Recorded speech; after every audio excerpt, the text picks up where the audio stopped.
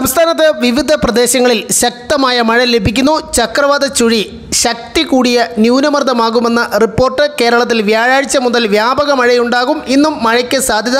മലയോര മേഖലയിൽ ഇപ്പോൾ തന്നെ പല പ്രദേശങ്ങളിൽ മഴ ലഭിക്കുന്നതിന്റെ ദൃശ്യങ്ങളും കാണാം. ഡീറ്റെയിൽ ആയി വിവരങ്ങൾ നോക്കാം. എല്ലാ ദിവസവും അപ്ഡേറ്റുകൾക്ക് നിങ്ങൾ ഇതുവരെയും ചാനൽ സബ്സ്ക്രൈബ് ചെയ്തിട്ടില്ലെങ്കിൽ ഇപ്പോൾ തന്നെ സബ്സ്ക്രൈബ് ചെയ്ത് ഓൾ എന്ന ബെൽ ഓപ്ഷൻ കൂടി എനേബിൾ ചെയ്യുക. കൂടുതൽ ആളുകൾക്ക് വിവരങ്ങൾ എത്തിച്ചേരാൻ ആദ്യം ഒന്ന് ലൈക്ക് ചെയ്ത് കാണാൻ ശ്രദ്ധിക്കണം. കേരളത്തിൽ വ്യാഴാഴ്ച മുതൽ വ്യാപക മഴയ്ക്ക് സാധ്യതയെന്ന് കാലാവസ്ഥാ വിഭാഗം മുന്നറിയിപ്പ്. ഒൻപത് ജില്ലകളിൽ യെല്ലോ അലർട്ട് പ്രഖ്യാപിച്ചു. ആലപ്പുഴ കോട്ടയം എറണാകുളം ഇടുക്കി തൃശൂർ മലപ്പുറം കോഴിക്കോട് കണ്ണൂർ കാസർഗോഡ് ജില്ലകളിലാണ് അലർട്ട്. ആൻഡമാൻ കടലിൽ വെള്ളിയാഴ്ചയോടെ ചക്രവാത ചുഴി രൂപപ്പെടും. ഇത് പിന്നീട് ശക്തി കൂടിയ ന്യൂനമർദ്ദമാകുമെന്നാണ് കാലാവസ്ഥാ വിഭാഗം മുന്നറിയിപ്പ് നൽകുന്നത്.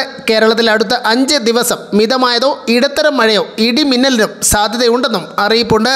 സെപ്റ്റംബർ ഇരുപത്തിയെട്ട് ഇരുപത്തി ഒൻപത് തീയതികളിൽ ഒറ്റപ്പെട്ട ശക്തമായ മഴയ്ക്കും സാധ്യതയെന്നും കേന്ദ്ര കാലാവസ്ഥാ വകുപ്പ് അറിയിക്കുന്നു. വരും മണിക്കൂറിൽ തിരുവനന്തപുരം കൊല്ലം കോട്ടയം ഇടുക്കി എറണാകുളം തൃശൂർ പാലക്കാട് മലപ്പുറം കണ്ണൂർ കാസർഗോഡ് ജില്ലകളിൽ ഒറ്റപ്പെട്ട ഇടങ്ങളിൽ ഇടിമിന്നലോട് കൂടിയ മഴയ്ക്കും നാൽപ്പത് കിലോമീറ്റർ വരെ വേഗതയിൽ വീശിയടിച്ചേക്കാവുന്ന ശക്തമായ കാറ്റിനും സാധ്യതയുണ്ടെന്നും കാലാവസ്ഥാ വകുപ്പിന്റെ അറിയിപ്പുണ്ട്.